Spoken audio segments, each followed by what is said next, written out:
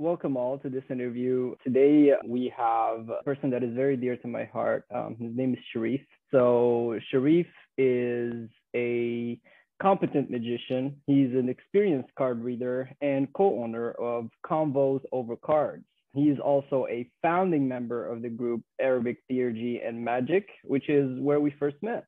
So shortly after I announced my services, I was talking to Shariyf and during that conversation, he had the brilliant idea for us to host a short interview in which he would share about his experience having me as a practical coach. So without further ado, we'll proceed with the interview. I'm going to ask Shariyf a couple questions, and of course, he's just going to share what he is comfortable uh, with sharing. So first off, Shariyf, please tell the listeners more about yourself, your background as a magician, mm-hmm. and mm-hmm. your experience with different systems of magic. Yeah. So I'm a I'm from New York. I'm I was born and raised in Queens. You know, very early on in my life, I got introduced to the concept of four elements. And interestingly enough, I got introduced to that concept through the hip hop culture. You know, and when I was young, I was in, I don't, I think I was in like the third or the fourth grade. And it, I was in a social studies class and we were learning about the ancient civilizations, ancient Greece, ancient Egypt. And there was mention of the mystery schools. And I'm like, yo, what is a mystery school? I want to, I want to find one, you know?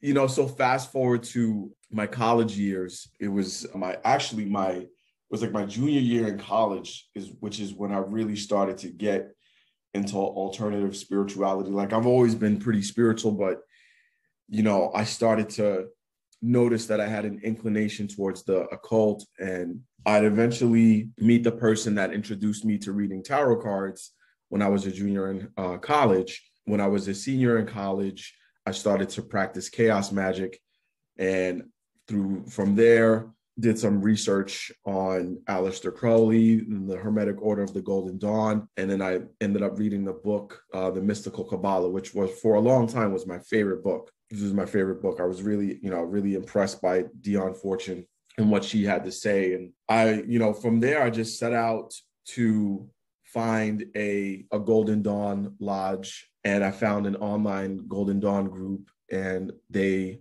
uh, were working with this big green book called Self Initiation into the Golden Dawn Tradition. You know, so I began to work through that book. I didn't get very far. I got, I didn't even get through like the entire uh, neophyte uh, ceremony. From there, I I started to get interested in Thelema, and I started mm-hmm. to do research on Thelema and stuff. And I found my way into uh, the Temple of Thelema in 2006. I got initiated into the Temple of Thelema and I'm a member of Aiwass Temple number eight. We're located in New York City since 2006. And so the temple itself is founded on the original Golden Dawn manuscript. So a lot of the formula has been, been rewritten to conform to the book of the law and the teachings of Thelema. But I essentially found what I was looking for, which was a Golden Dawn style order within the Thelemic context. And so, so as I was advancing through the outer order, which I'm still an outer order member, but I'm almost to the point where I can go into the second order. As I was going through the, the degrees of the order, I began to explore, you know, African traditional religions and um, working with spirits, specifically the spirits of the catalog of the Ars Goetia. And that just took me in a completely different direction than, than where I thought I was going to end up as they usually do, right? Yeah. As they usually do. Yeah. Those spirits, they have uh, they have a knack for that. yeah, exactly. Yeah, yeah, and it was it was interesting because it, it really came out of nowhere. It came out of nowhere. And as a matter of fact, and I'll talk a little bit about I'll talk a little bit more about this that I started to get into that stuff. I was I was married. I was in a really bad financial situation, so I was very, you know, I turned to the working with the the spirits of the Goetia because I'm like, yo, I'm in such a crazy situation. I need mm. like I need some serious serious spiritual intervention here. You know, so I I picked up a copy of Jake Stratton Kent's True Grimoire. I read it through. I was like, ah, I don't think I could do this, but this looks interesting. But from there, you know, I discovered the Afro Brazilian tradition of Kimbanda, and I found actually I, it was uh, I, I, I was able to connect with uh, Nicholaj de Mattos Frisvold, who wrote a couple of books on the tradition of Kimbanda. I would eventually get known as a consulta from Nick, which is essentially a report on who your Kimbanda spirits are and those spirits began to work virtually immediately. They made their presence known very, very quickly. As a matter of fact, a week after I got my consulta, I met a woman at my, I was introduced to a Brazilian woman that was taking a, a, a course at my pre, at my old job I used to work for, and she brought me to a temple that was run by an Umbanda and Kimbanda, very closely related, and and very long story. long story short, one tradition emerged out of the other because there's no central body that governs the way people mm-hmm. practice Umbanda and Kimbanda. Mm-hmm. You know, there are some places that practice Umbanda exclusively, other places practice Kimbanda exclusively, and then some places practice them in tandem. So I got it. So from there, I got a chance to work with the spirits of that particular tradition. Um, mm-hmm. I would go every Sunday. I would take my daughter to what was known as a gira, and the giras are these big events where there's someone that's conducting the the ritual of the gira.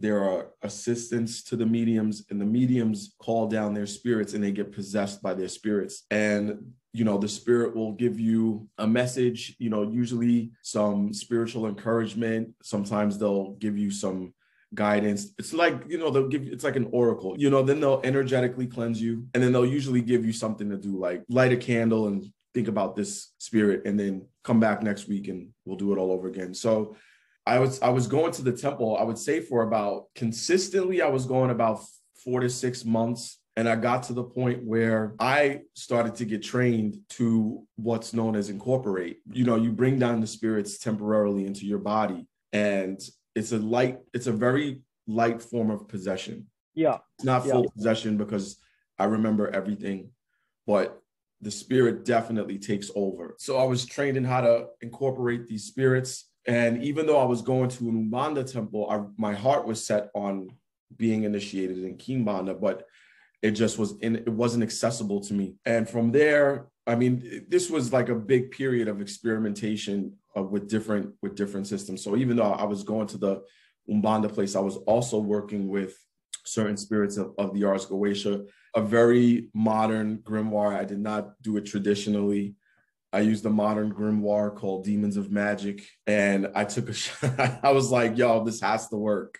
has to work." I did some stuff that's in that book with one mm. of hmm. the spirits named Gremory, and then a month and a half later, yeah. I got I got out of my financial situation. That's great. And it lasted for about a year and a half. And then eventually I would make it to Brazil. I got received licença into the tradition of Kimbanda. So while I'm not a uh, I'm not a Tata and I can't initiate anyone, you know, I have mm. license to work with my spirits and by proxy, whatever spirits that happen to roll with them. And I eventually I eventually found your group because I had began to experiment with Arabic magic. That came out of uh, very interestingly, that came out of something that I did with another spirit in the Ars Goetia, Barbatos. I performed. Oh, okay, okay. Yeah. I didn't know that. I yeah, yeah, yeah. That. Yeah. So, so I was, uh, I was taking um, Jason Miller's uh, Black School of Saint Cyprian course, and um, I performed a baptism of two different spirits. Uh, one of them was Barbatos, the other one was Priscillus. And so after I baptized Barbatos, I know, like I paid it, I paid attention to what was going on in my life because none of these encounters uh, with these spirits had me deal with them physically. You know, the Kimbanda spirits made themselves known mostly through dreams. And and there was a major intervention, like they there was a major intervention in their life in my life that helped me get to Brazil, which I can tell you about later. But what I the point that I want to impress upon everyone is that the majority of this work did not require me to see the spirits. It didn't require me to really didn't require full conjuration. I did stuff and it worked. And where I paid attention to is I paid attention to what events took place after the ritual, what new people started to show up in my life, like what were some of the avenues that I got opened up.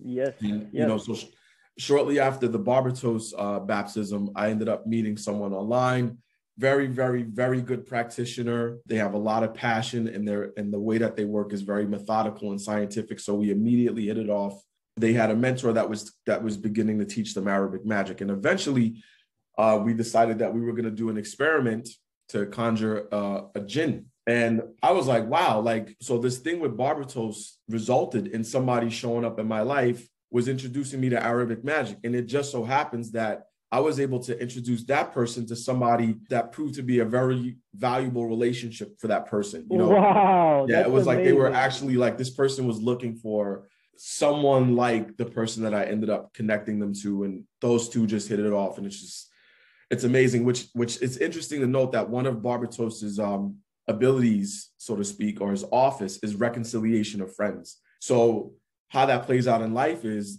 through this spirit kind of turns you into some sort of connector where you connect people with others you know Absolutely. so that's, that's how that plays out among other things anyway so we decided to do this experiment and we came across two different rituals it was about it was a small group of us that each decided to conjure the same jinnia um, oh. using two different rituals we me and the person that i met we used one and then the person i connected them to they used another one initially when I performed the ritual, I really didn't know what I was do- I didn't know what I was doing. You know, I just it was just like here, try this ritual and let's see what happens. You know? you know, fuck around and find out. Yeah, exactly. So we did this experiment and it seemed to produce whatever results that I produced for the, you know, for the different people. Eventually, what I ran into is it's almost impossible to get any sort of reliable information in English uh, at least for me, because one, I don't read Arabic. Yeah. Okay. I don't speak Arabic. Mm-hmm. Um, and I noticed that there's also uh, culturally to work with these spirits is very, very, very taboo. It's very like you just don't like. Absolutely. Yes. Almost every jinn tale that you hear of, you know, as an English speaking American practitioner that is that was trying to make sense of the nature of these spirits and their relationship and how they work, uh-huh. what they like, what they don't like. It was almost impossible to find straight answers. Absolutely. There's so many, there's so many stories and there's so many cautionary tales that yeah. that don't seem to have any, you know, that don't seem to have, at least for me, they didn't seem to have any grounding and someone actually working productively with these spirits. There were some things that I noticed that that were consistent. Like everybody has a jinn story, you know, like that's a clue. Like, okay, they like to be spoken of. They may not like to be seen, but they certainly like to be spoken of. And you know, when I found the group, I was I I had I, I had just finished performing the ritual and I began to doubt that what I did was effective. And I began to doubt that who I called was was actually who showed up, you know, which leads me to working with you. You know, but in that period, in that period between me beginning to do that initial ritual and then the time that you and I connected, you know, I spent the I spent a considerable amount of time um listening to different podcasts of different natures, you know, so I listened to podcasts that were there was a podcast that's run by a Muslim. I think he might be Pakistani. I think it's called If You See Something, Say Something. And they have a number of different episodes about the jinn. They have different people talking about the jinn from different perspectives. So there was an academic on the that on the uh, show that talked about the jinn, and there was people that told you know jinn stories that they would hear when they were kids, or jinn stories that rem- that they remembered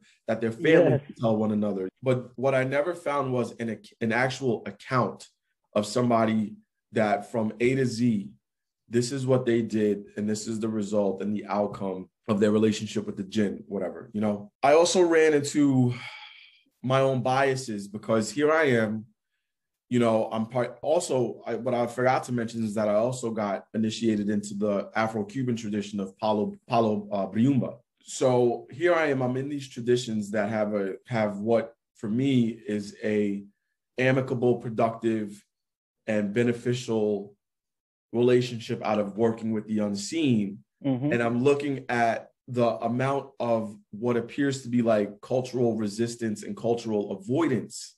I was having a hard time reconciling that for myself because I'm just like, how is this even possible? You know, like, what are the Muslims on Africa doing that work with the jinn? Like, how are they, you know what I'm saying? Like, how right. That, so, a clear dichotomy. And then I discover well, I'm thinking that jinn is like a class of entity, but now I'm reading that the word just means anything that's unseen. There's different connotations of the word jinn depending on what context you look at it from. And I'm like, yo, this is like finding a needle in the haystack. So that for me was like, gosh.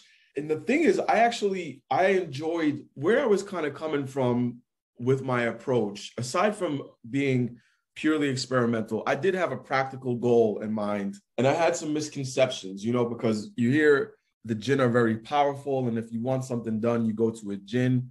But also, I think, but what's also important to keep in mind is that they have free will so that was also something that I that I never reconciled with them myself. Like before I ended up working with you, I, I guess I had it was a I would say it was an immature set of expectations. You know, mm-hmm. like I would just you know I would do this ritual. This being would just appear in my room. Yeah, it would make itself known. It would communicate with me in the way that I communicate. It would do what I asked it to do and it would require virtually no sort of quote romancing and it would happen faster than i expected it to you know what i mean? And that's what was running the show when i was doing this experiment you know just to be completely honest. I think it's really important to say that because in my experience it's good to check in with what is present before you do the operation. You know it's very easy to rush in my experience, and I've, I've done this, and I don't know about you, but speaking for myself, walking like not necessarily emptying the mind and coming from having a beginner's mind, no matter how experienced. Absolutely. It's you know, so I I can see that there were I had I had some very unrealistic expectations that were, I guess I would say, inherited from some of the stories that I've heard and my own ignorance well, you know, it, it's it's really it's really not ignorance, and I'm happy to say you're not alone in that perception mm-hmm. because, as you said yourself, when you when you go deeper into researching the topic of the jinn, it's basically Aladdin's lamp, right? Mm-hmm. It's literally that. That's mm-hmm. their first uh, exposition to a jinn when they were when they were children. That's where people, yeah. when they understand what a jinn is, they think about, oh, you know, when I was a kid, I used to watch Aladdin. Mm-hmm. That you're just gonna rub this lamp and the jinn will appear. You have three wishes and you can ask for a, a kingdom and you will get it in the you know, blink of an eye. But it's it's really not your fault. I don't think it's ignorance. I think that culture in mm-hmm. general mm-hmm. that basically forces that view on people yeah. So I think you're not alone. Definitely yeah. not alone from different uh, interactions that I've had with people so far about the jinn.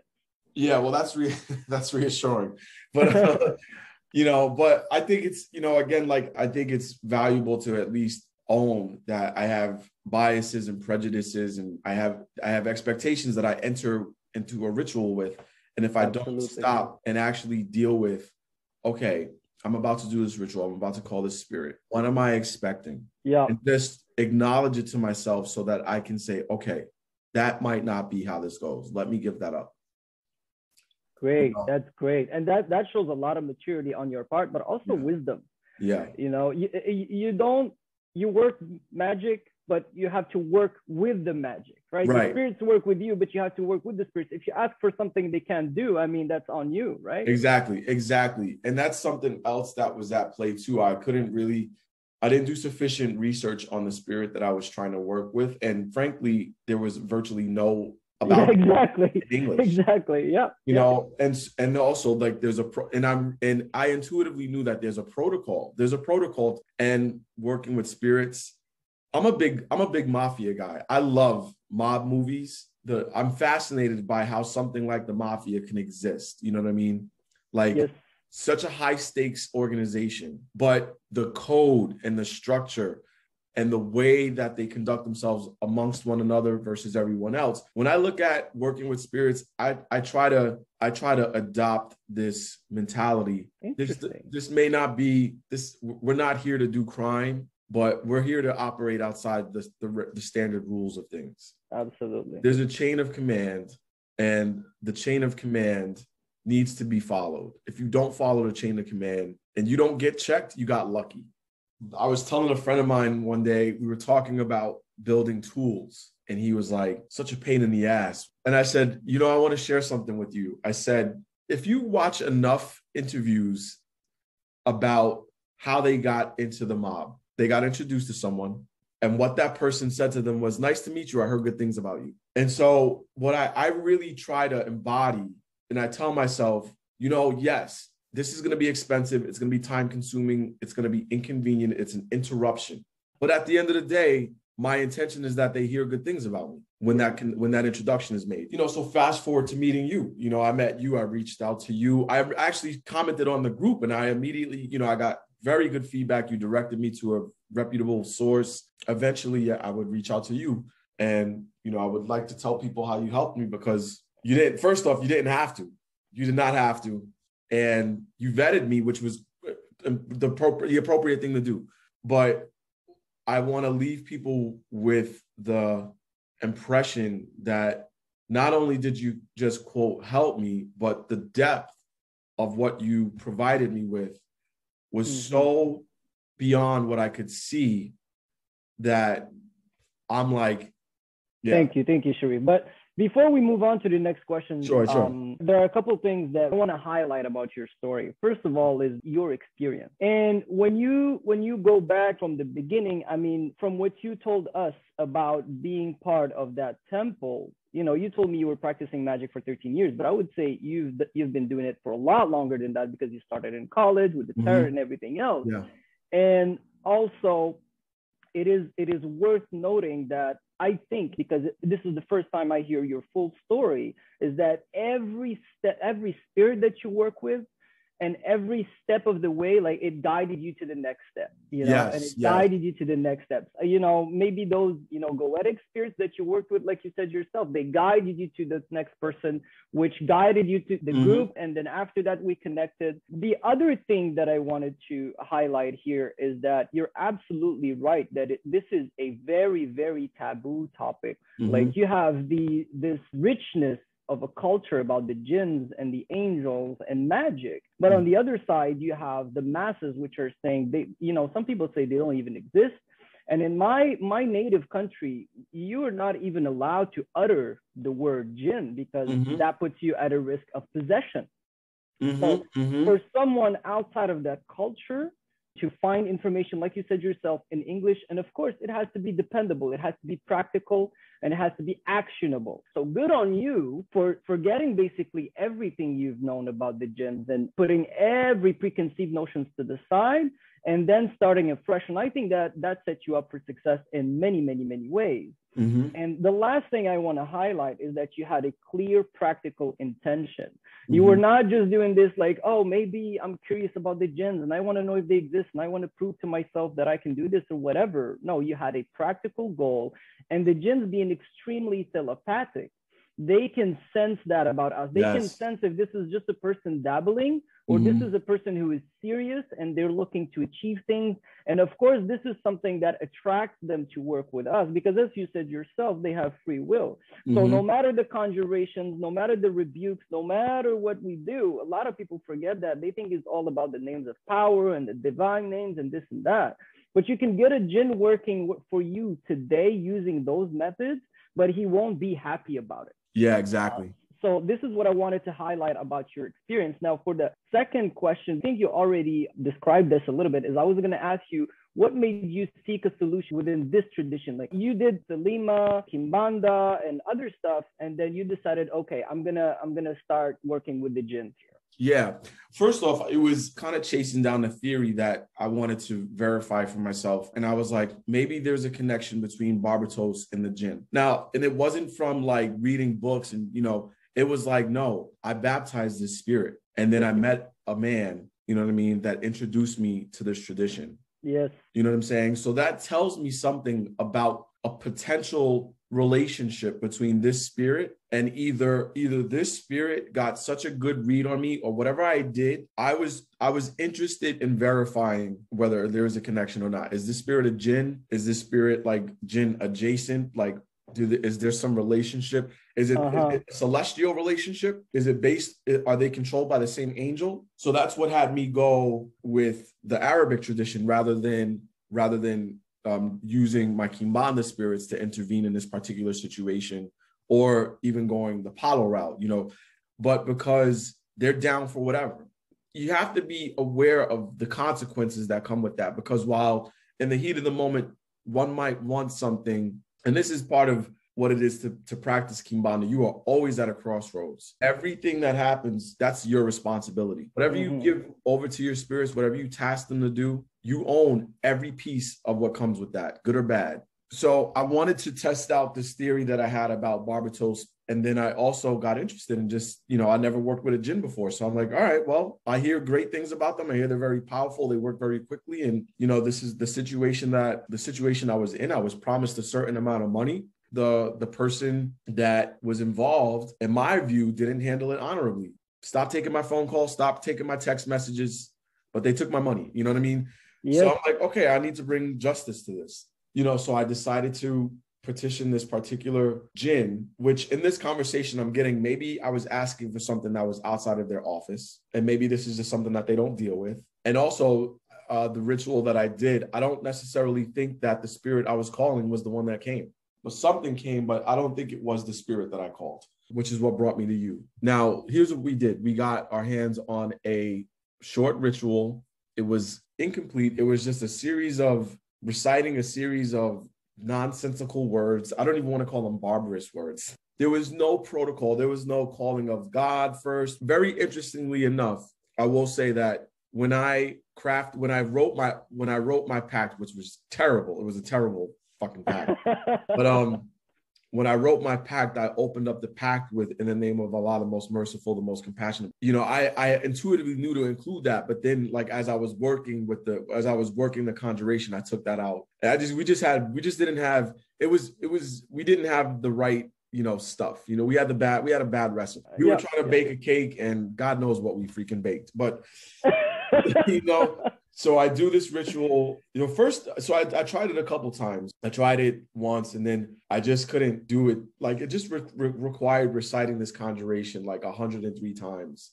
So the first time I tried it, I would get to like the 27th time and I'd pass out. I'm like, fuck. Well, here's what motivated me. Other people in the in our crew that were doing yeah. this, they were like, yo, I did this. I, I, I made the pact, blah, blah, blah. I'm like, okay, I finally do it. And it's compared to what was happening with other people, specifically the people that used a different conjuration to call the same spirit, mm. they got you know the the what showed up was was very different than what showed up from for me and this other person. So they got much more tangible results. Now I do this thing for three nights, and I'm like, okay, I think it worked. I don't have any way of verifying what kind of divination do I use. So I paid someone to do like a Lenormand divination to confirm. And I'm like, do I need to do it for one more night? I do it for one more night. Yes. Then I think two days after I do the ritual, I go to work and my girlfriend texts me. She said, I just had the worst dream ever. And she said, I had a dream. First off, I was asleep. And then it sounded like it felt like somebody was standing over me and they clapped twice and they said, Wake up. And I woke up and there was nobody there. And then I have this dream of this tiger eating a baby. It was like a lion eating a baby or something. Wow. And then she wakes up and she smells something burning, but there's nothing burning in the house. She smells rubber burning. And so I'm all, I'm like, all right, this spirit, which it was a female jinn that we were calling, it was Jania that we were calling. Yeah. So I come home that night and I like, I'm like, yo, you cannot fucking do that. You can't like I, I'm just talking to the air. Like that is no pass. Then my girlfriend has a dream that same day. She has a dream that night. There was an older woman with gray hair. She knocked on the door. She was selling ice cream. My girlfriend opened the door. She walks into our apartment and then she walks into the room that I did the ritual in. She doesn't say anything to my girlfriend. She just walks right in. And my girlfriend's like, What the fuck are you doing here? And then the woman gives my girl ice cream in the dream. She gives her her favorite. And then I was like, Okay, so maybe the spirit is reconciling with you because I fucking yelled yeah. So in the days after that, I receive a set of what's called chamalongos, uh, which is what we what they're four coconut shells that are used in uh, to speak with the spirits in uh, in Palo. And I received them from a Tata. And so I'm like, let me use my chamalongos to try to talk to the spirit. So I'm throwing the shells day after day, asking them questions. And I have no idea if the information that I'm getting is good or bad. I'm just right. I'm just recording it, writing notes. And then one day I have a dream and it's this is important. This is important because especially in the African traditional religions, dreams are very important. Tip because spirit most spirit interactions happen in dreams. So anyway, so fat. So rewind back to this dream. I'm having this dream, I'm in this weird elevator, and the elevator takes me to what looks like a workshop inside of this industrial sewer like you know location and there's this androgynous like figure that walks by me. And i can't see what they look like. It's just a black they're they're a silhouette but i can it, it's interesting because because at first appearance i can't see them. I just see a black an all black figure. I can see into the silhouette. And it was it was like a dandyish looking woman with very short hair and she looked like Prince, like the art, like the, the the the singer. And then that night, that night, I like I wasn't awake. I was still asleep, but I felt something walk past the foot of my bed and caress my foot. And I was like, oh shit. Maybe the spirit, maybe this jinn, the jinn is here. You know what I mean? Like yeah. they're here. And then I would only have two more interactions with them. And this kind of ties back to something that you said about them being extremely telepathic. So one, you know, so one night, maybe like a week or two after that incident, I'm laying in the bed. Earlier that day, I have a thought in my mind that I'm going to experience seeing a spirit and it's going to it's going to be somewhat frightening. You know like when you get when something scares the shit out of you, like you freeze, yeah. your body like your blood gets cold. So I'm in bed, I'm half asleep and all of a sudden I feel a presence in the room and I feel that fear. And then I have a, like this, I it's like this idea just kind of like precipitates into my head, and it was, I can't show myself to you. That'll break the rules. That's like that's what the uh that was the the message, you know. And so I'm like, yo, this jinn is is is talking to me. You know, she's letting me know I'm not going to show myself to you. Yes. I, I can't. It's against the rules. Yeah. And then and then the last experience that I had, I was was laying down and I was asleep, and I felt someone physically poke me in my back. I got it. Like they they just want to fuck with me. They don't, you know what I mean? Like they're just gonna fuck with me. And then I started to doubt that what I did worked. Specifically, oh, and then I also had a really, uh, I also had another dream, and I told you about this dream, but I, I'm I'm okay to share it with people. I had a dream that I ended up at this weird hotel where there were no walls. There were just oh. beds everywhere. I ended up at this weird hotel, and there was a friend of mine that showed up in the dream, and all she wanted to do was have sex with me. And yeah, that's it. She accosted me, and we ended up we ended up having sex in a dream. Now, here's the thing. I only have these kind of dreams when there's a spirit involved. Yes, absolutely. Absolutely. You know, I've never been one to have dreams like that that actually yeah. resulted in the act being performed in the dream until I started to work with spirits. And every other dream that I may have had like that typically ended right before the act, but the act was carried out, and then the girl just you off. went all the way. Yeah, yeah, yeah. and she just took off. You know, one thing I and I think I remember reading about this Jania, and it's like when she comes, she'll offer herself to you, and you tell exactly, her. exactly, and I, that's exactly what I was going to say. Yeah, but the yeah. thing is, there was no telling this. This no, it they took it. you know what I mean? Like I didn't get raped. I'm not saying I got raped, but it was just like I was down. You know what I mean? Like my dream, yeah. dream Shariyf was down for whatever. You know. so, you know, it's really funny to talk about this stuff, but that's what happened. Yeah, that's what happened. You know. So I'm like, okay, maybe the spirit got what they what they wanted. You know what I mean? Because mm-hmm. nothing's happened since. I did have the experience that they sort of like it didn't take much to communicate because we all I had to do was just think, you know, like I didn't necessarily have to do a ritual to call them forth. After I did the the initial ritual, if I if I send thoughts in their direction, I'll get something back, you know. Like they like it was almost as if like like who was showing me all of these things about the jinn was this particular jinn you know like absolutely. like like all right if you're gonna do this i'm gonna show you what you need to know. Yes not gonna absolutely. like that's and that's the extent to which you're gonna get to know me. You know what i'm saying? Like yeah. i'm not gonna do these things that you're asking me to do but i am gonna i am gonna i am gonna make it a point for you to at least have the inclination to learn about what you're about to get yourself into and learn about us. Yes and i think in many ways it's better than what you could have asked. totally because look what i came away with. Like i had to confront all of my programming you know, black New Yorker that is involved in all of these traditions trying to enter into what appears to what appeared to me is a very very closed secretive tradition. You know so i was very fortunate that they didn't get offended by anything that i did and they didn't get upset with me you know because there could be a problem you know. And that's when i came to you and i'm like yo this is what's happened so far. You know i need your support and and, in getting this sorted out because i want this to work. But now i have this other problem on my hand. You know i i did something and i don't necessarily know what the ramifications are going to be and I'm not, and I don't know what the what the protocol is. Yeah. So a lot of a lot of the things that you said, I mean, they and I hope the listeners are paying close attention to every word that you said because you mentioned a lot of very very important points. Now, what stuck with me is first of all Barbatos. Barbatos, mm-hmm. as you said, you wanted to know if he has a relationship with the jinn. Yeah. Now, I think now with your experience working with me and the spirits, you know that Barbatos is a jinn. In West, they may call them, you know, demons, but spirits yeah. or whatever, but they're basically jinn.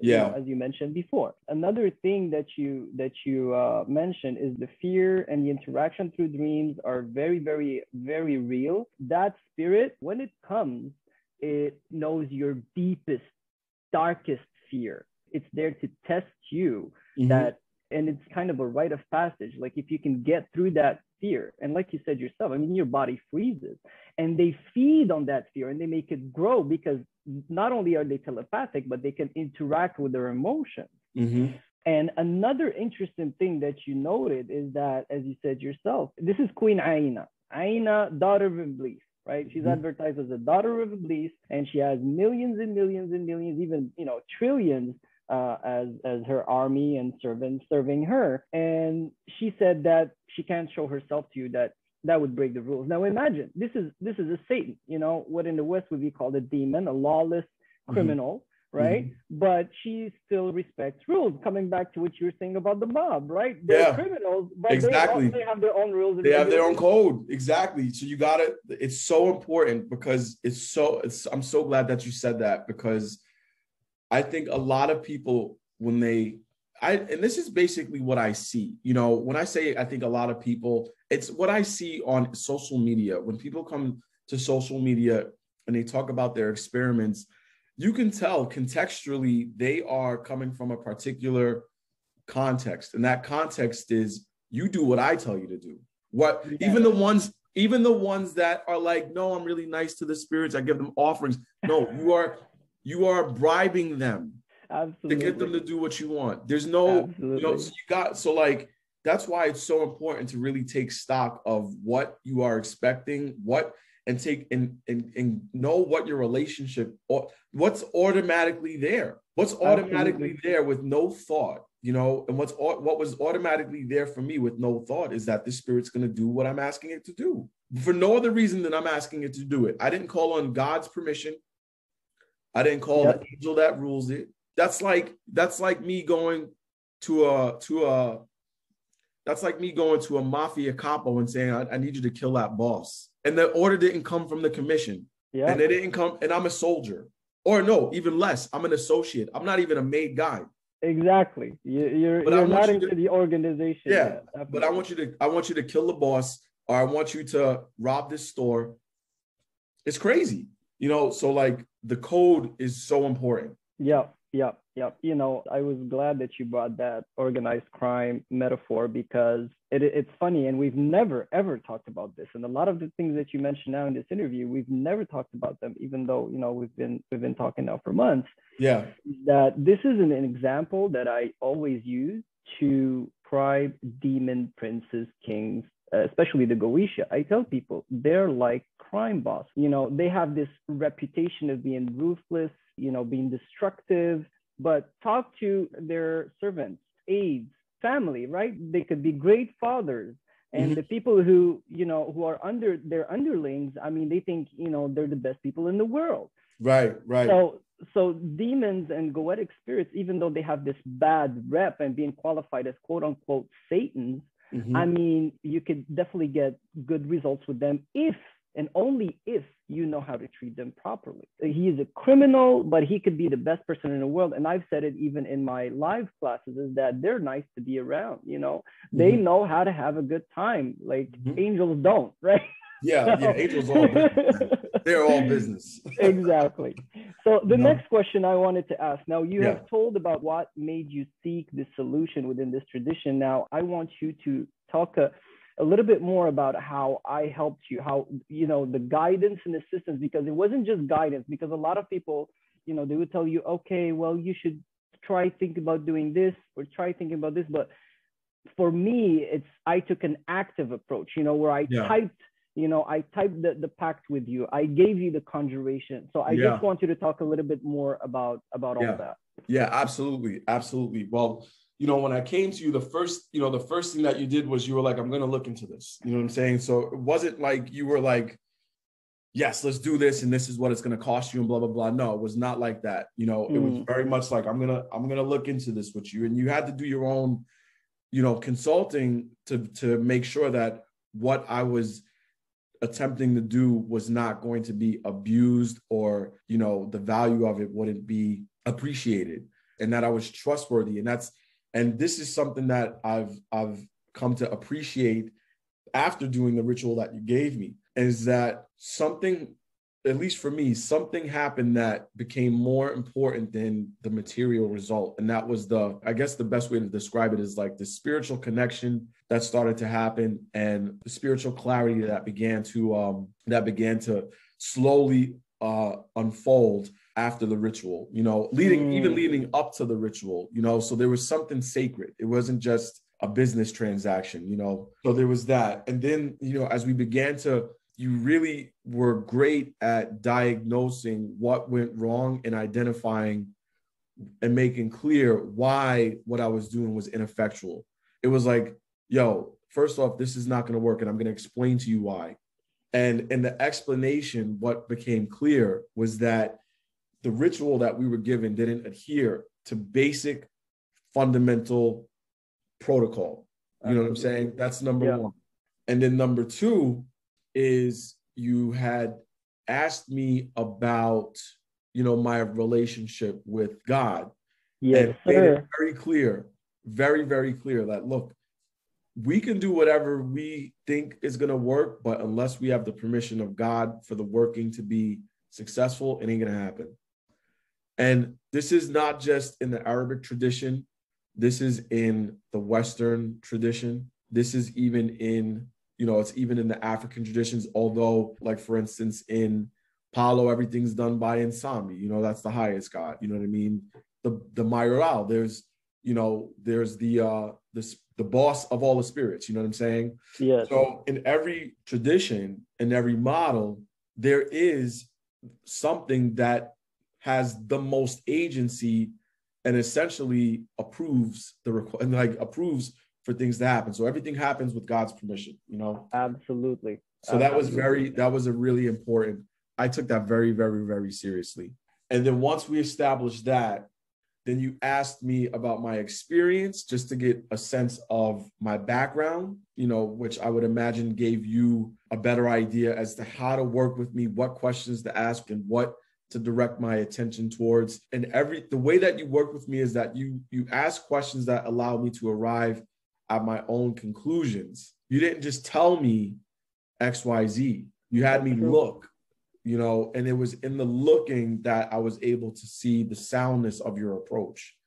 Thank you. Thank you. You know, there are many reasons that I did that and that I proceed the way that I do. Now, you know, you came to me and you're like, okay, I'm trying to, you know, I did this ritual with this demoness, right? This, yeah. this satanic, you know, um, daughter of Iblis. And I'm like, well, you know, I use angel, I use divine authority. There was definitely um, a bit of, um, you know, hesitance at that moment. And that's when I started asking you about God. And you yeah. said that uh, a devout believer, not mm-hmm. always that you go to church every Sunday. And I don't think that's necessary because faith is in the heart and not whatever is out there. Mm-hmm. Um, so that was very, very important for me to quote unquote vet you as they know you're coming before you're coming. Yeah. So I'm yeah. like, if, if I'm bringing this guy to this specific spirit, I want to make sure that it doesn't, you know, affect my reputation with them or my relationship with them. You know, mm-hmm. I want to bring the right people to them. It's at that point that I thought that the situation that you needed help with, with the person ignoring you after taking your money,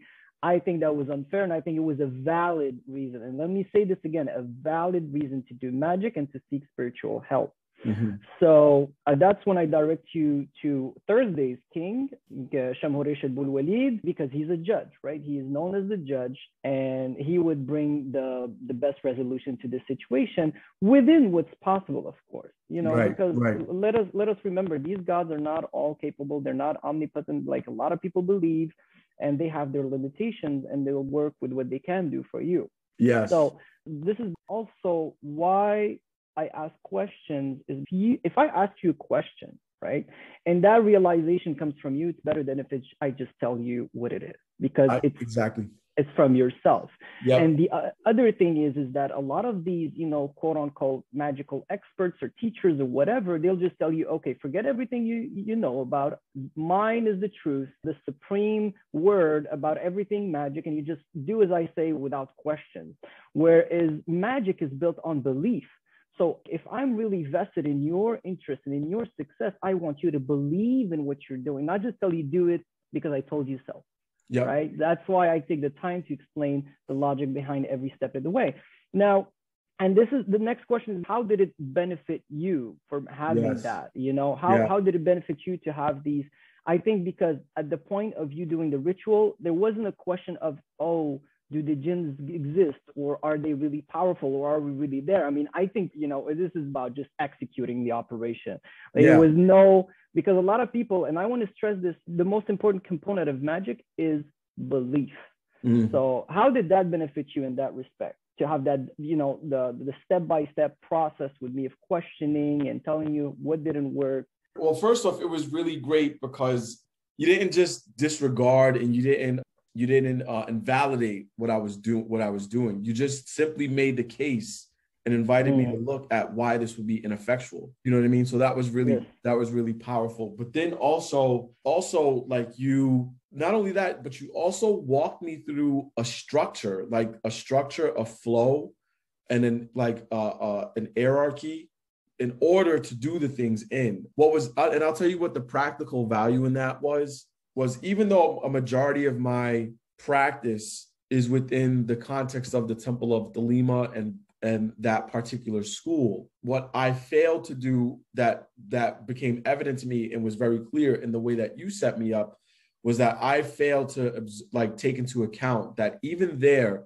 there is an order of which things are done and a spirit yeah. is invited. You know what I'm saying? It just it just wasn't like I I wasn't looking from that perspective. I was looking from this is the jinn that's Temple of Thelema. It's not the two shall not meet, you know, which didn't, which was not the way that things ended.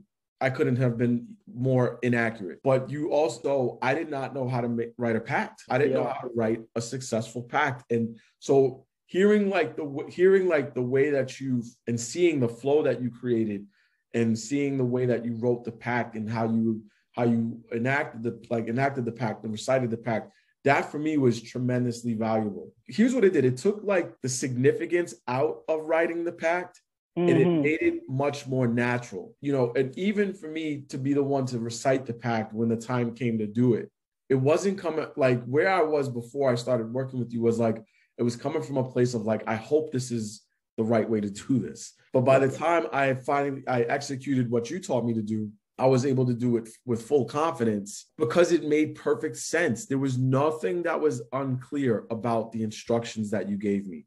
Everything mm. was very clear. It all made perfect sense. It all followed a particular logic. And that and that allowed me to be really comfortable and confident with what I was doing. Now leading up to, you know, so you gave me the instructions, okay, and you gave me the day and time to do it. And as I began to start to prepare for the ritual, two things happened. One, I initially was planning on doing it on one day, and then I realized, wait a second, I'm not set up to execute it this day, and I'm not gonna I'm not gonna force it. At that at that time, we were dog sitting, so we had two dogs in the house. I was like, all right, this isn't gonna work. So we I waited until the dogs left, and then it was the first Thursday after they left, and I remember emptying out my room because you you told me this room needs to be very very clean. Like it needs to be as clean like like you like the queen herself can sleep in your room. Yes that's true. That's you know true. so i so i emptied out the room. I vacuumed the floor. And then i looked around the room. The, the, the walls in the room are all white. So i looked around the room and i was like okay this isn't this isn't enough because the walls were like really scuffed and they had all these marks on it and shit. And so i was just like you know what? Fuck it. I'm gonna have to paint the room for me to repaint the room which my girlfriend wanted to paint the room anyway. But this was what got me to do it. You know she wanted yeah to exactly so we could right? decorate the house. But Yeah, then it was like, no, I'm doing a magical operation and the room needs to be no no it's time to redecorate the house for real. Yeah, like, yeah, no, this has to be painted. You know, so I painted the entire room. You also told me to remain as possible in a pious state, really keep asking permission from God to make this happen, which I did. You know, I abstained from having relations with my girl. I, I didn't abstain from drinking alcohol, but I painted the room and I burned incense in the room for like three days. I tried the ritual twice. The first time I tried the ritual, I got up at 4 a.m. and I fucking baked an enormous tray of baked ziti to offer to this king.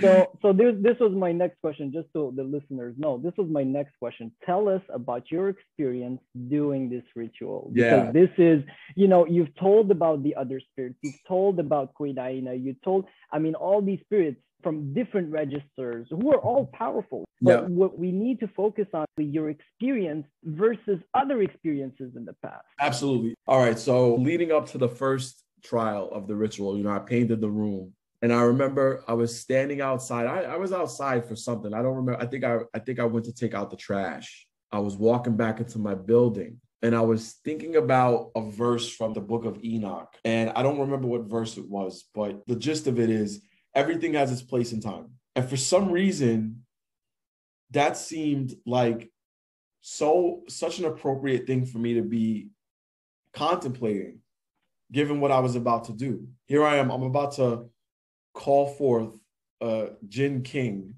species of being that can't show themselves. Like there was something, but in contemplating that, what started to appear to me is that not only did everything have its own place in time, but everything had its own design. You know, a tree that grows oranges is not going to grow olives one day.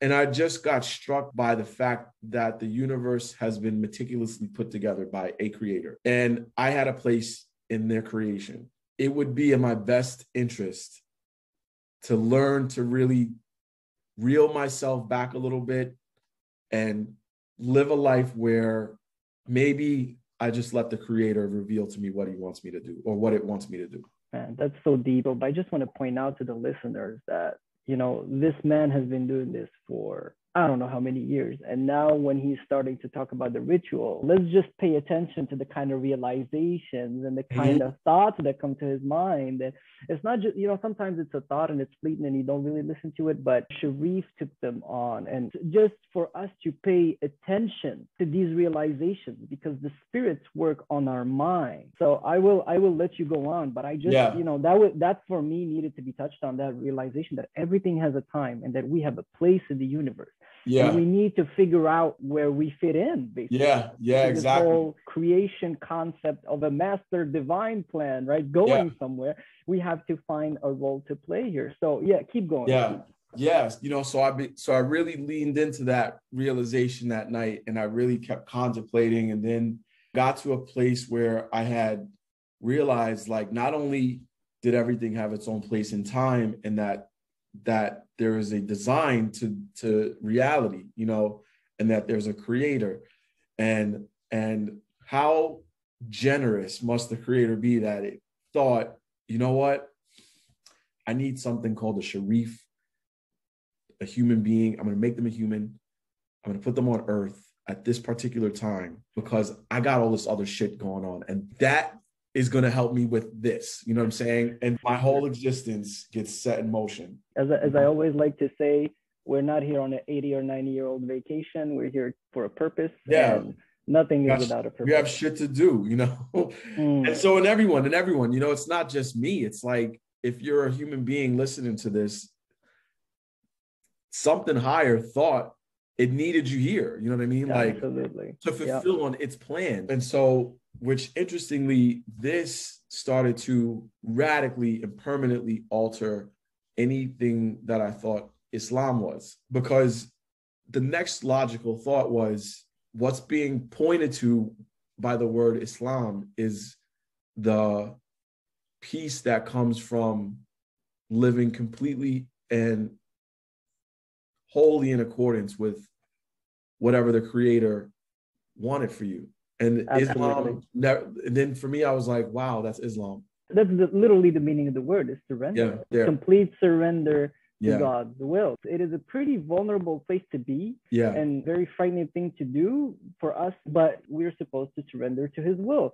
Now, are you comfortable sharing about your physical experiences, what you felt, you know, the sensations yeah. yeah, the yeah, the ritual? Yeah, yeah, I'm gonna get into that. So yeah, so so there was this, so I noticed that there was this exalted state existing leading up to the ritual. And it felt like just everything is gonna like if, if there was no worries about what was to come. You know, the mind worries. You know what I'm saying? Like it, yes. it, in the face of uncertainty, the mind entertains predictions that it makes. You know what I'm saying? That's yeah. just part of having a mind. But I knew that there was something special that was shifting because it felt like there was this pocket that was open up and, and there was like wisdom that was being poured into wow. me. You know what I'm saying? Then the first attempt at the ritual, I get up at four in the morning. I make this enormous tray of baked ziti. The ritual was supposed to happen during the hour of Jupiter at least start during the hour, hour of Jupiter. I thought it was supposed to happen during the hour of Jupiter. By the time I was done cooking and I prepared the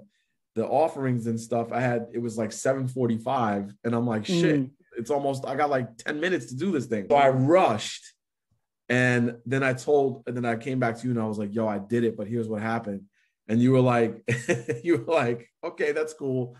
But you know, you ask for like four different things, bro. You got to have an offering for each thing that yeah. you asked for. You, you didn't have to like stop at the end of the hour of Jupiter. You could have you could have gone on, but I think it worked. And I'm like, okay, I'm gonna try it again on Sunday because that was the other period of time. Sunday yes during the first hour of sunset, which is an hour of Jupiter. So Sunday rolls along. I'm in my office with my girlfriend. Uh, we're sitting next to one another. We're both doing some work. And then I stop and I look to my right. And to my right, there was a window. And on the windowsill, I have like four books. I have Techniques of Greco-Egyptian Magic by Dr. Stephen Skinner. I have the Goetia of Dr. Rudd, also by mm. Dr. Skinner. I have a copy of the Quran and I have a copy of the Book of the Law on this windowsill. And I just grabbed one of the Qurans that I have, and it was called the Study Quran. And I decided to open up to the Surah, the, the Jinn. And I had up to that point, I avoided reading about it because for some reason I thought it was going to say something bad about the Jinn because I was like, yo, the, what? It's the Quran. Can be good. about the Jinn.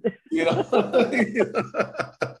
you know, I'm like, yo, they're probably talking mad shit about the jinn. You know, yeah. I, am not, I, I don't need that. You know, I got it. but something told me to grab the Quran and open up and read that surah. So I open up, I read that surah, and and then I read the notes. This that this was a uh, the surah was about the like the story of the jinn, but in the notes, uh, Muhammad peace be upon him, he recited another surah and the recitation, mm. the recitation of the surah attracted the jinns. Like they just happened to be passing by and they were like, yo, what's that? And then yep. they heard it.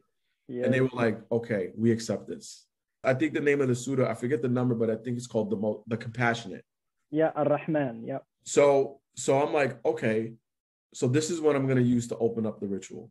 The compassionate and then I'm going to read the jinn. Like to step into like the mythical language of what I was about to do. So the time comes and I'm calm. I'm not ner- I'm not nervous. I'm like, all right, we're just going to do this until something happens. So I open up with the compassionate, take a minute, read the jinn, and then I take a minute and then I recite the ritual that you gave me. And then I get to I get to the part where it's the rep- the recitation of the the call to have the jinn come. And I do that about maybe 20 something times. I'm sitting on my I'm sitting on the floor, kind of like kneeling on the floor, doing it. And then all of a sudden, I feel what feels like little strings starting to attach themselves to my to my shoulders. It's like these little faint like spider webs of strings that slowly start gently attaching themselves to my shoulders, continuing the recitation, and then I fall into a trance, like a slight trance. Mm-hmm. And then I feel this wave of like ecstasy come over me. And then I recite, I recite it again, and then I feel something gently press on my back. It wasn't a hand, but it was something like a pressure. Yeah, it was like a real slight pressure around the around your heart, basically the back of your heart, I think. Yeah, yeah, yeah. It was a little bit, yeah, a little bit above my heart. I would say like somewhere around my shoulder, like somewhere around the bottom of my shoulder blade. So yeah, very close to the back mm. of my hmm. heart. And it was just like a gentle touch. And as soon as I felt that, I was like, boom, we went right into the pact, said what I needed to say. And then I was like, all right, it worked. There's first of all the the stress right before a ritual. You were calm because mm-hmm. you knew what you're doing, you knew what you were gonna say, you had structure, you had a, a, a clear process to follow. Then yeah. after this, is a lot of people they don't know if it worked or not. Like remember, you know, your ritual with Queen Aina. Yeah, there was and, no and certainty also, if it worked. Exactly, but you, this this time you lived it, you felt it, and you know what went on. So mm-hmm. I think those are great points that you bring up. Tell us about the manifestation. So at this point, you did the ritual, right? And so here's what ended up happening. So so um so I think a day or two after that after that ritual, I came home from work. I was I worked in the office that week. I came home from work and I went to go check my mail. I was wearing and I was wearing my backpack. So I open up the mailbox, and as I open up the mailbox, I feel a finger like slip between the strap of my backpack and my shoulder. And so I thought it was my girlfriend. So I turn around and there's nobody there. All right. They were like, Yeah, it worked, bro. You're good. okay. All right, cool. So then as time goes on, there was two things that I noticed, and then there was the material result. So I noticed that occasionally I would get this. The best way to describe it was like there was like an invisible ocean and the tide of that ocean was rising. It was like an emo it was the best way to describe it. It was like an emotional physical sensation of wow. like of like a tide constantly rising. And then I noticed that my thoughts would would become I don't want to say holy, but the best way to describe it was like I would just find myself like in the presence of generosity and happiness and appreciative of God, like an act of appreciation, like thank you, God. You know what I'm saying? Constantly, constantly. And that was an indication of either the presence of the king or or one of his most likely one of his uh his helpers. Yeah.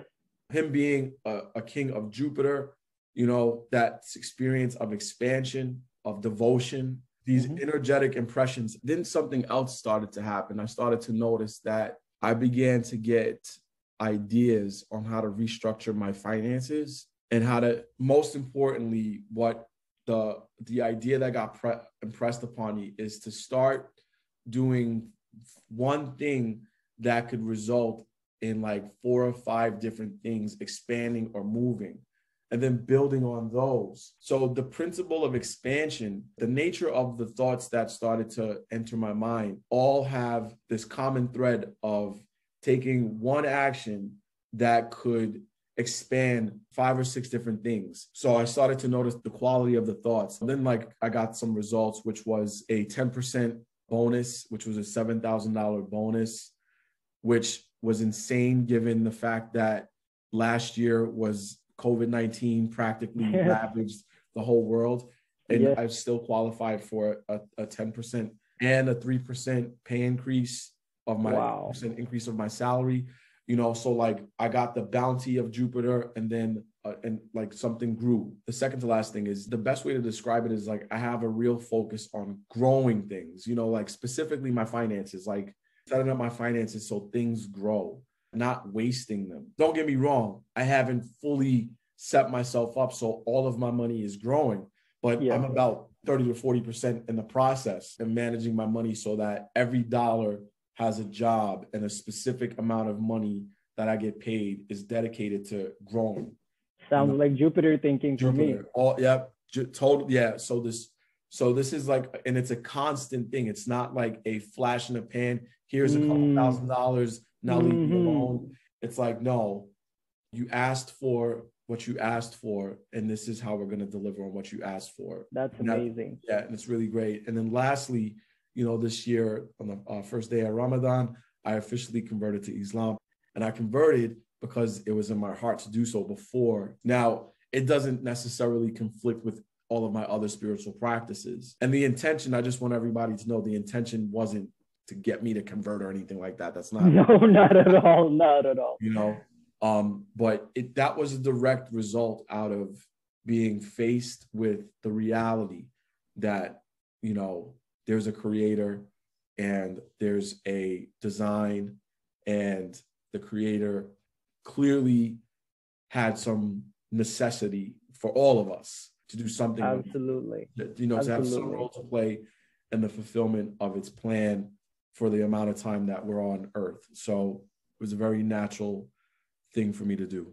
That's so inspiring, man. And I didn't know if you were if you were comfortable sharing about the fact that you converted to Islam. And of course, um, you know, you know me. I'm a pretty open guy. Uh, I, I accept all people, and it wasn't like, oh, you know, we're gonna convert you. You know, it- Yeah, it, no. wasn't any. I even No. like to be honest, I was surprised when you told me that. you Yeah, I was. Yeah, you know i was i Yeah. was i can i couldn't have like really imagine that at all i mean you, you know a couple months earlier you were you were summoning the devil's the, the devil's daughter right and So a couple months later you're converting to islam which for me came as a shock but you told earlier Mhm. that you know you realized that there's a place for everything that you had this place within the universe You know, I don't. I wouldn't say that it was necessarily like I don't know my place in the universe per se, but I know. But one thing that is clear for me is that the creator was generous enough to think that I had some role to play.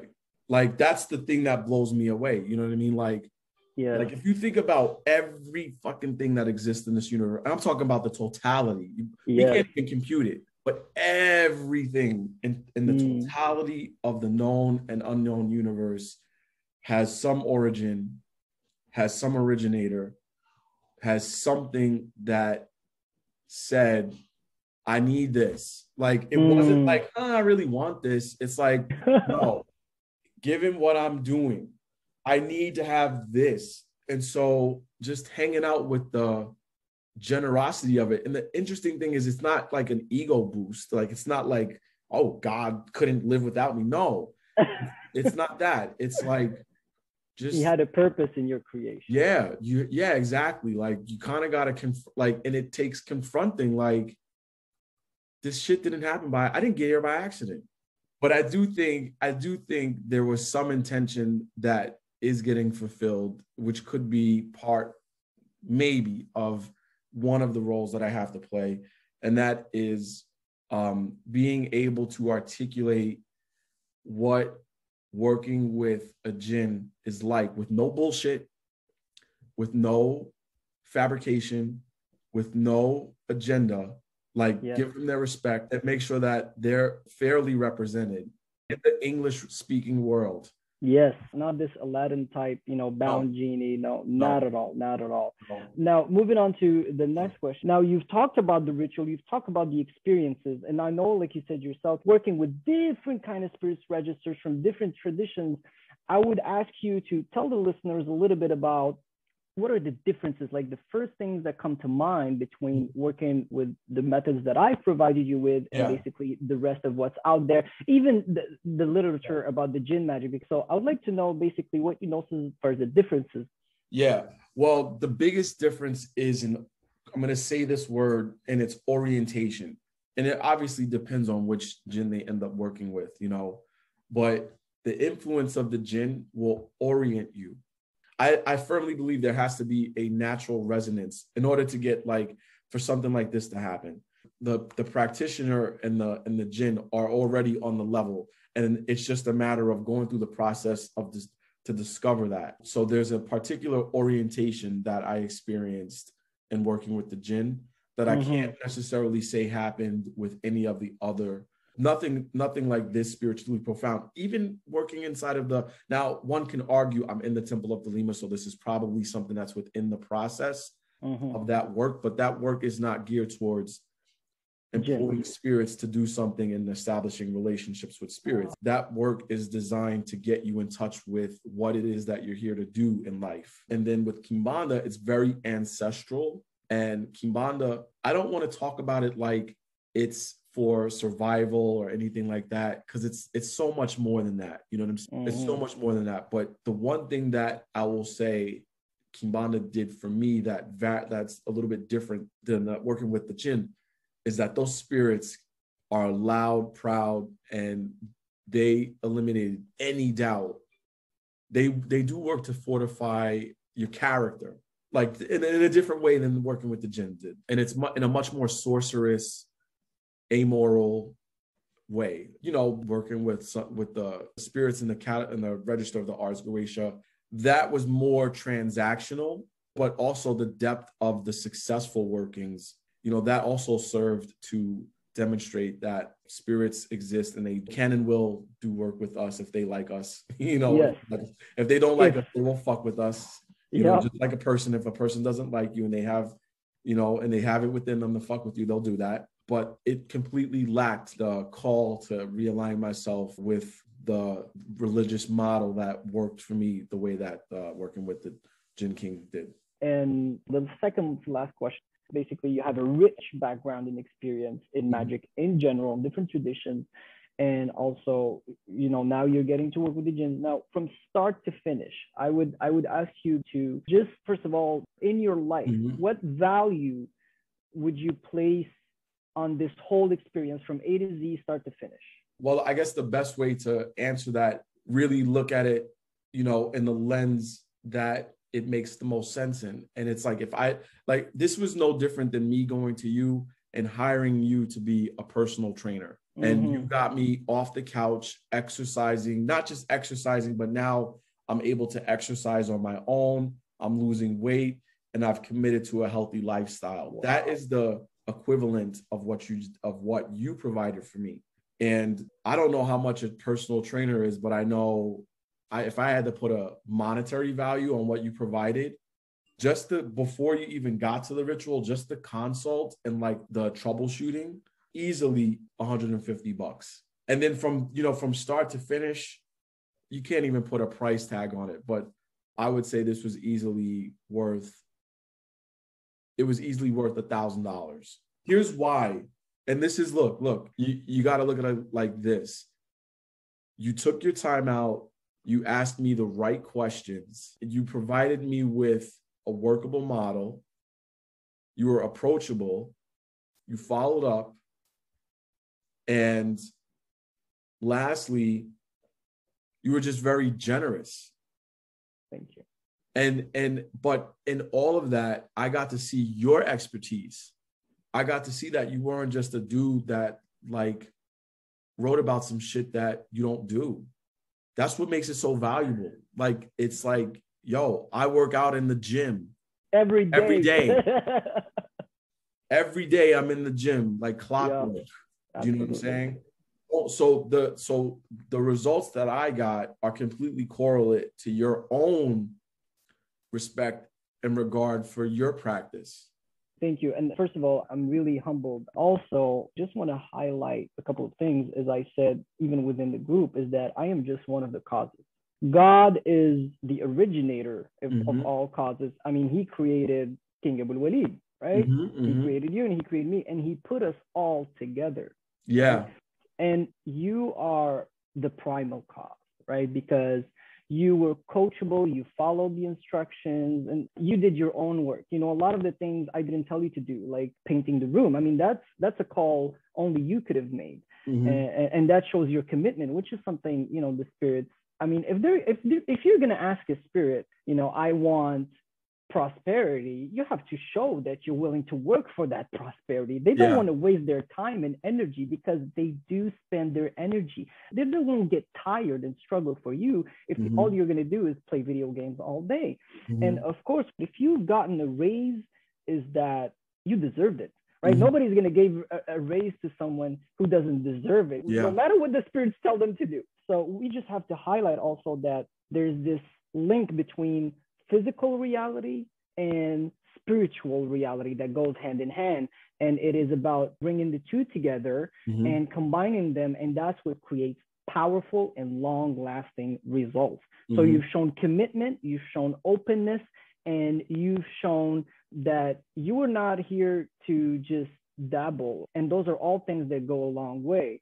Now, to finish, and this is my last question people who are going to be watching this and listening to this who are where you were a couple months back Mhm. who didn't know what the jinns are or basically they're hesitant because of all the cautionary tales and Mhm. you know the, the crazy accounts that you hear from people all over the internet and now it's like these there's this trend uh, this this popularity towards jinns, if only on account of the latest aladdin movie that disney made Mhm, right mhm, people are mhm. are wondering about this so what would you tell those people who don't know where to start beginners and advanced practitioners because you're as advanced as they come. You didn't start this yesterday. So what would you tell those people who are hesitant Mhm. or don't know if it could benefit them or are they are they good or bad spirits? What would you tell those people who are basically on the fence? Yeah, that's a great question. Well, the first thing that I would tell them is to make a commitment to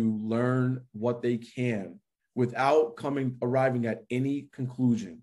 To spend any conclusion that they've that they've arrived at about what the jinn are, how they work, and what they can quote get from the jinn. That's the first thing that I would do.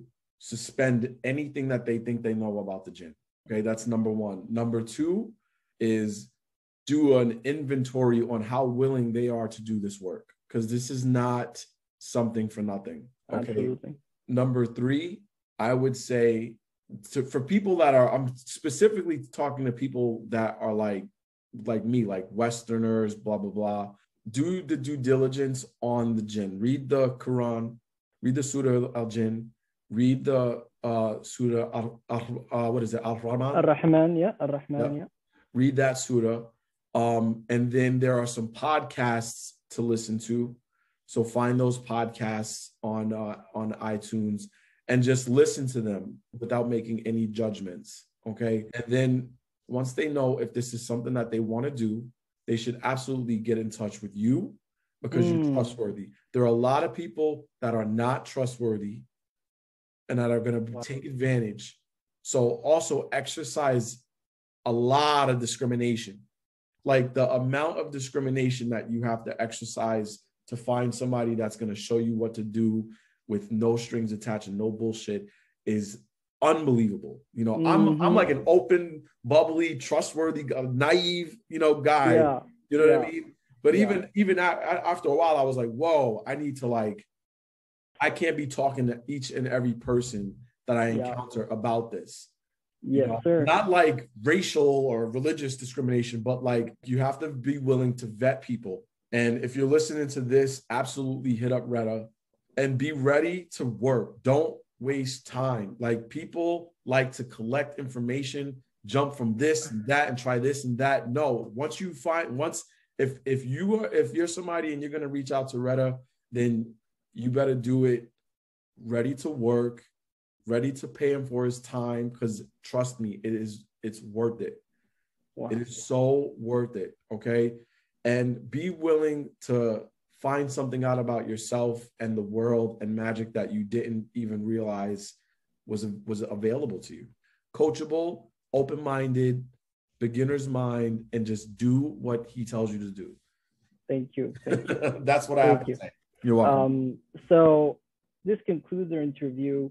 We had originally planned 30 minutes for this, but I guess when you talk about a topic that you're you're passionate about, and of course you have a rich background and a huge experience in magic, and I think you have a lot to teach people. You're getting more proficient and building that relationship every day because this is not said and done, right? You're still making offerings, mm-hmm. you're still having manifestations. Like you said yourself, a lot of these those other spirits is tr- transaction. Like give me this for this and that's it but when you make this pact it builds up upon itself and you get mm-hmm. this momentum which everything happens at one after the other so it's mm-hmm. like the gift that keeps on giving right exactly exactly exactly mm-hmm. exactly that is exactly it now to finish you are an experienced reader and yeah. I would like to let people know where they can find you. You know, yeah, because... you can find me. You can find me on Facebook. You can look me up directly, Shariyf Clark. You can also look at my business page, Convos Over Cards. Uh, my girlfriend and I, we are we run Convos Over Cards together. The business page, we have a many many videos of us literally giving free tarot card readings for people to check out. We're on a hiatus right now. However, I am accepting private clients. So if you want to book a private reading or you at least want to have a discussion about booking a private uh, card reading, just hit me up on Facebook or uh, look up Convos Over Cards on Facebook and follow the business page and shoot us a message on the business page. That's great, man. Now, lastly, I just want to thank you for taking the time, also for this great idea. All credit to you. Um, Thank you, man. I, really... I, wanted people to know I've, you know, it's important to get testimonials, but I wanted it to be I wanted people to have the experience of you and I in dialogue about this so yeah. that they can sense the authenticity behind it because this isn't like we're not like podcasters, you know what I mean, with yeah, books and yeah. shit. You know, we're just two that happen to meet because we love, you know, we love magic and we and you know, our clearly our paths trust for the difference that we can make together. You know, so it was really important that people get exposed to this in this kind of format. Absolutely. And it's all through God's grace. So thank uh-huh. you once again, Shariyf. My pleasure. And to the gift that keeps on giving. Yeah, to the and, gift and that we'll, keeps on giving, man. And to God, that, uh, you know, God, God first. Absolutely. So God first and God last. You take care yeah. of yourself. And uh, hopefully that this will serve to answer a lot of people's questions